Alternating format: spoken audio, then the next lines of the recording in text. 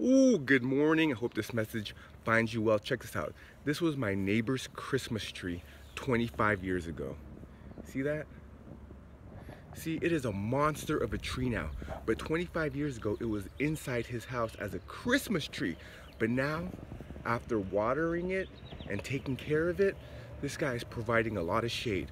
Whatever you do today is gonna provide you shade in the future or not. If you don't do anything today, you're not gonna have any shade. So let's learn from this Christmas tree right there. We gotta learn from that Christmas tree. They watered it, they took care of it, and now it's providing shade for a lot of people. There's a quote about that.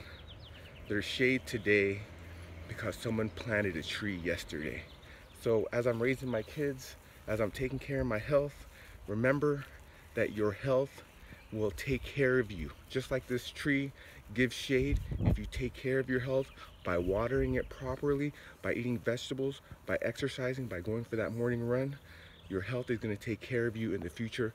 Just like that tree is giving us shade, your health is going to give you shade.